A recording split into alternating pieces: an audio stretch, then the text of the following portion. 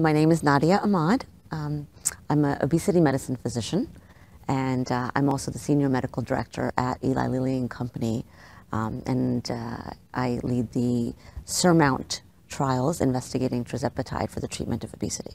So uh, we're here at the ADA um, because we have uh, just completed our uh, primary phase of the SURMOUNT 1 study and uh, disclosed those data and, um, at the ADA um, for the first time. Uh, and uh, it was great to be in person. This is the first ADA conference after a couple years that was live, and so uh, we were here to share those results with the medical community. So tirzepatide is a single molecule, um, but has actions at two receptors, the GLP-1 receptor and the GIP receptor.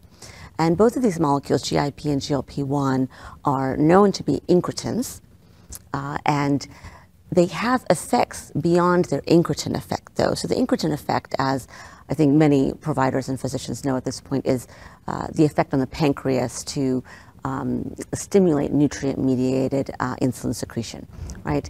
But beyond the pancreas, they have effects on the brain that work on energy balance and energy regulation. So GIP with GLP-1 is known to decrease food intake, and there's also data to suggest that GIP increases energy expenditure. So the combined effect of tirzepatide um, as a dual agonist for both GIP and GLP-1 is to work on both sides of the energy balance equation to reduce body weight um, and also have uh, important uh, metabolic uh, effects in addition to that.